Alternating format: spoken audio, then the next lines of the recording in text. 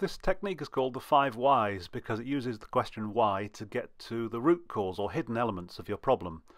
So let's say, for example, you're trying to decide whether to create a new staff training centre at work. So what we're going to do is ask a series of questions why. Let's start off with why does this matter?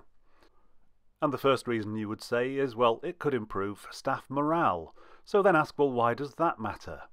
And the answer to that might be, well, staff work hard and need to feel valued. So then you'd ask, well, why is that important? And the answer could be, well, it's important to be rewarded when we're at work. Why is that important?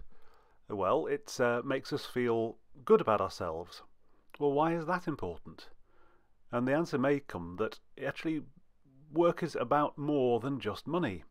By asking why five times, you've travelled a long way from the starting point and you may have found something at the heart of why it's important to create a staff training centre. So then you can carry on asking more why questions. For example, why do I care?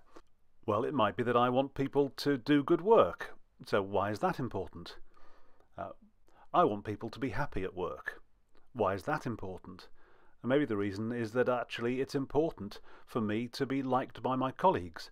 Again, you're going quite deep into interesting territory around this technical question. There's no end to the variety of different types of why you can ask. Why should staff care? Why should our customers care?